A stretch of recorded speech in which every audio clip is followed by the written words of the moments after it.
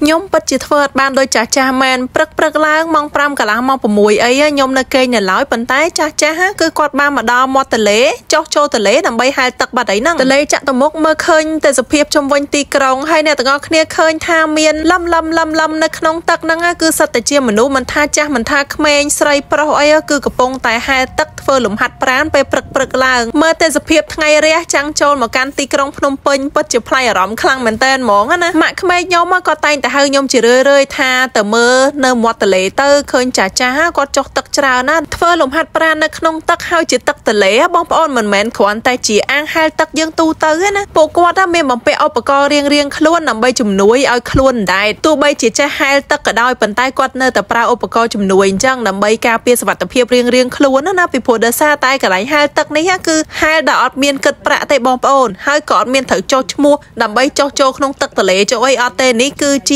លំហាត់ប្រាណដែលបងប្អូនអ៊ំពូមីងមួយចំនួនគាត់បានជ្រើសរើសធ្វើជារៀងរាល់ថ្ងៃឬមកក៏ជាប្រចាំមួយសប្តាហ៍គាត់អាចធ្វើប្រមាណដងអីចឹងទៅស្របពេលដែលក្មេងចាស់ប្រុសស្រីកំពុងតែធ្វើលំហាត់ប្រាណនៅក្នុងទឹកឃើញថាបងបងដែលជាប្រជានេសាទជាអាជីវករមួយចំនួនគាត់ក៏ចាប់ផ្ដើមយកត្រីយកបកងគាត់មកដាក់ក្រាលលក់នៅកន្លែងហែលទឹកនឹងដែរឃើញអញ្ចឹងគឺកាន់តែប្លែកទៀតហើយនេះពីព្រោះដោយសារតែនៅហ្នឹងខ្ញុំគិតថាត្រឹមតែគេមកហែលទឹកស្រាប់ដល់ពេលមានណាគាត់អាចលក់នៅត្រីលក់អីដើម្បីខែងលោថាអ្នកមកហែទឹកមកអីហ្នឹងគាត់ចង់ទិញយកទៅស្លស្លុកបន្ទាប់ពីលំហាត់ប្រានពេលព្រឹកបលឹមហើយហ្នឹងណាបងប្អូនអ៊ំពូមីងមួយចំនួនណាគាត់ហែបានឆ្ងាយឆ្ងាយហែតាំងពីត្រើយខាងលិចរហូតទៅដល់ត្រើយខាងកើតហែពីត្រើយខាងកើតមកត្រើយខាងលិចវិញទៅដល់កន្លែងហ្នឹងដែលជាទលេចាក់ទៅមុខនេះគឺខ្ញុំពិតជាអាចមើលឃើញទៅសភាពទាំង4មុខហ្នឹងមែនណាបងប្អូនមានកោះពេជ្រមានសុខាត្រើយមកខាងទៀតហ្នឹងគឺជាអរិយខ្សាត់ហើយងាកទៅមកខាងទៀតឃើញច្បាស់អំពើកោះនារីអីចឹងណាបងប្អូនមួយចំនួនដែលគាត់តែងតែឆ្លងដល់អរិយខ្សាត់ជាប្រចាំមកអាចនឹងឃើញទៅសភាព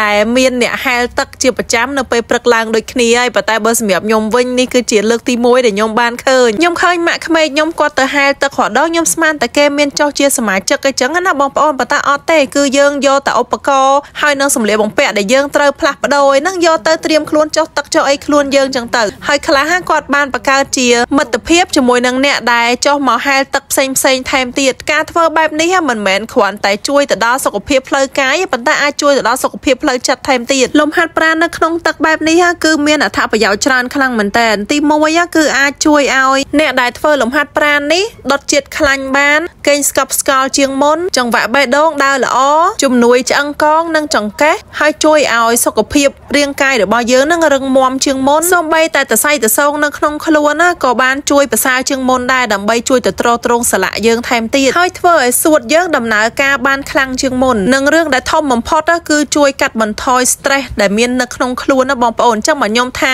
លំហាត់ប្រាណនៅក្នុងទឹកនេះមិនមែនត្រឹមតែជួយសុខភាពផ្លូវកាយទេគឺជួយដល់សុខភាពផ្លូវចិត្តថែមទៀតដែលពួកគាត់អាចបណ្ដែតអារម្មណ៍បណ្ដែតកាយនៅក្នុងទឹកវាធំល្វឹងល្វើយមើលឃើញទេសភាព360ដឺក្រេជុំវិញខ្លួនអាចរាប់អានញាតិមិត្តបងប្អូនដតីដែលកំពុងតែធ្វើលំហាត់ប្រាណនៅក្នុងទឹកជាមួយគ្នាហើយពេលងើបឡើងពីទឹកវិញអាចទិញត្រីទលេត្រីធម្មជាតិបកងទលេបកងអីខែងលោថាអចង់ស្លោស្លុកវិញអីចឹងទៅណាអ្នកខ្លះក៏គាត់មកជាក្រុមគ្រួសារខ្លះមកជាគូខ្លះមកជាក្រុមធំខ្លះមានកូនមានអីមកជាមួយខ្លះទៀតក៏មានមកតែឯងដែរបងបកង1គីឡូមែនបកងបងបើថៃលក់អញ្ចឹងលក់80000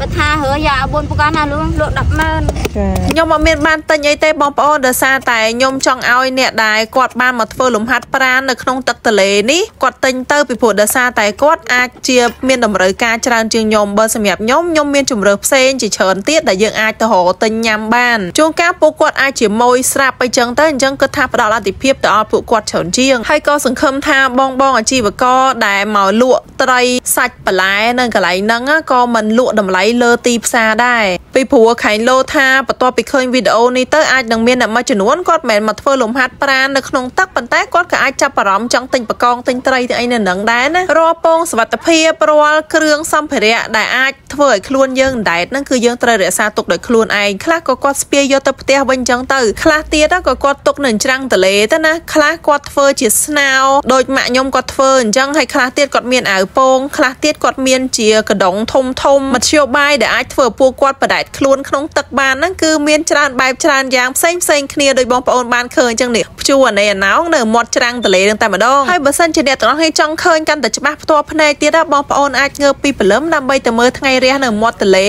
ទន្លេចតុមុខហើយក៏បានឃើញពួកគាត់ហែលទឹកនៅនឹងដែរដោយយើងគ្រាន់តែធ្វើដំណើរឡើងទៅកោះពេជ្ររួចទៅកន្លែងដែលគេលេងកំសាន្តនៅកោះពេជ្រហ្នឹងទៅបងប្អូននឹងឃើញហើយផឹកផឹកឡើងមានអ្នកយកឡានយកម៉ូតូយកអីទៅចតនៅនងទៅបន្ទាប់មកគាត់ចុះទៅហែលទឹកកំសាន្តលេងនៅក្នុងទន្លេហើយនៅពេលនេះខ្ញុំចម្ប៉ារតសូមអគុណសូមជម្រាបលាបាយបាយ